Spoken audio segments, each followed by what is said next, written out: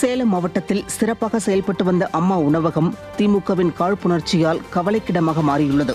திமுக அரசு பொறுப்பேற்றது முதல் அதிமுக ஆட்சியில் கொண்டுவரப்பட்ட அம்மா உணவகங்களை பராமரிக்காமல் மக்களை வஞ்சித்து வருகிறது.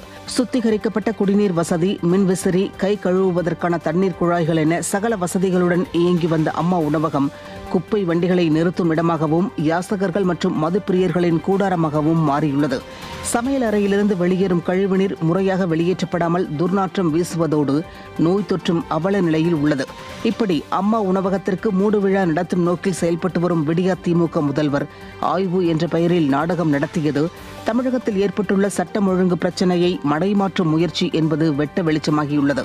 ஏழை எளிய மக்களின் பசியாற்றும் அம்மா உணவகங்களை முறையாக பராமரித்து பயன்பாட்டிற்கு வழங்க பொதுமக்கள் கோரிக்கை விடுத்துள்ளனர்.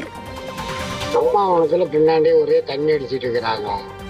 சீலிங் எல்லாம் போயிடுச்சு பைக்கில் தண்ணி இல்லை. அம்மா அம்மா ஆட்சியில் இருக்கும்போது நல்லா இருந்துச்சு. இப்ப இருக்கிற மாநகராட்சி ஒன்றுமே லாய்க்கு இல்லை. ஒன்றுமே யாருமே இல்லைங்க கேட்கவே மாட்டேங்கிறாங்க. கேட்டால் கேஸ் கொடுத்துட்றாங்க. கேஸ் கொடுத்தா என்ன பண்ணுறது ஆமாம் நம்ம எதாவது சொன்னோமா நம்ம மேலே கேஸ் கொடுக்குறோம் ஆனா முன்ன நல்லா இருந்துச்சு. அம்மா ஆட்சி இருக்கும்போது நல்லா சூப்பரா இருந்துச்சு.